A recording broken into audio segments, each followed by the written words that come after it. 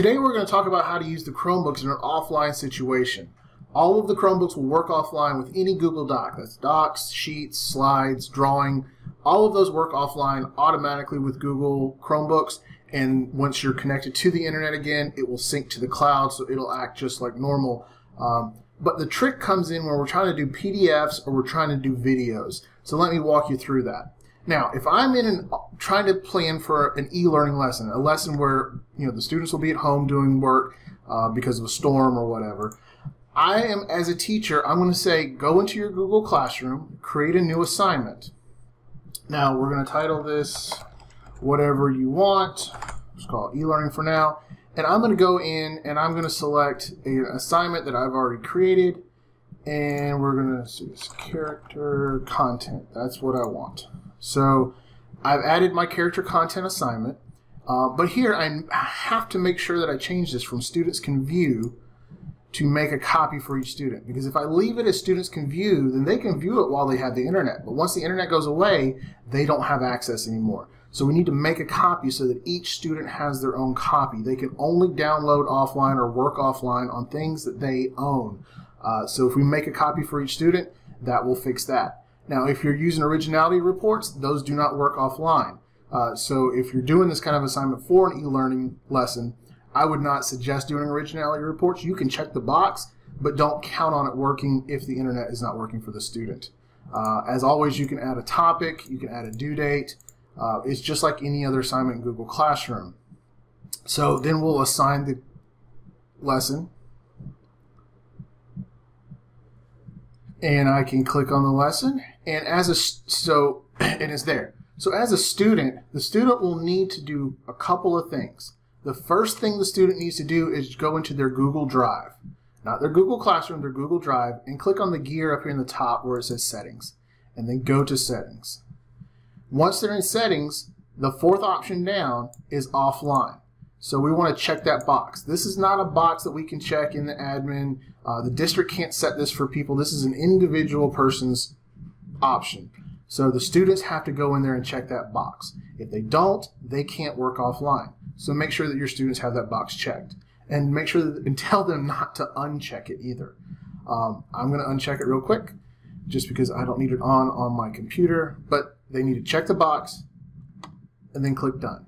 So now their Chromebook will sync their Google Drive so that they can work offline on anything that's in their Google Drive and it will continually do that. Anytime they open a document from that point forward on their Chromebook, it will then sync to the Chromebook and they will be able to use it offline. Now, we're back in our assignment. So the students will need to go into the assignment that we assigned and then click on the document that is now their copy. So if you've seen that before, it will add the student's name to the title of the document. Uh, that way the student knows it's theirs, and when they turn it into Google Classroom, you know who the student is as well. So in this assignment, once they've opened it, it will sync to their Chromebook, but there's two links in here. One's for a video and one's for a PDF of Dr. Martin Luther King's speech.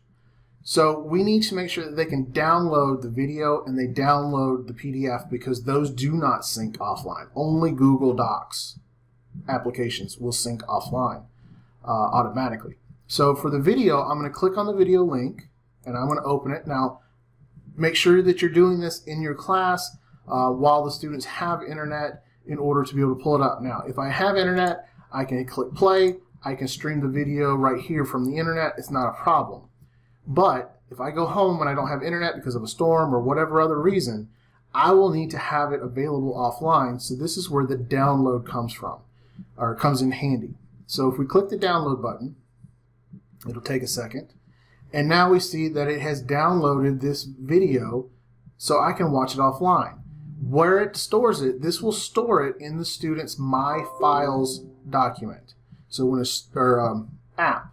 So when the student's on their Chromebook, they open up the Chromebook, even if it's offline, and they go to their apps. One of them says it's a blue button with a, a white like file folder in it, but it says My Files um, or Files. They will have this video in there if they've downloaded it. Once it's in there, they can watch it offline. It's completely offline at that point. The same goes for the PDFs. So this is a PDF of the speech. So I can click on here, and right here, I'm still using the internet because I have not downloaded this to my device. So I can read this speech online, but if I don't have internet, I will need to do the same thing as the video and download it.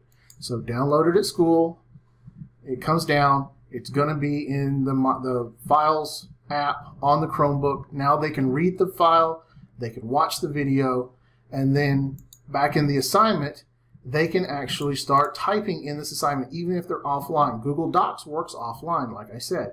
So they can answer or work on this writing prompt based off of the PDF that they've downloaded and the video they've downloaded. And now they can actually write on this. Once they're done with their assignment, even if it's done completely offline, when they get back to school and get back on the internet, or when the internet comes back on at home, all of this information will sync to the cloud. It'll be in their Google Drive. They can turn it into Google Classroom, and it'll be just like if they had the internet to access all of this information. Um, I hope that was a good refresher if you already knew it. I hope that was good information if you had questions. Uh, feel free to share this video with students, with parents, with your colleagues, other teachers, your administration, anybody who might need to know how to use a Chromebook offline. Uh, feel free to give them a link to this video. Thank you very much.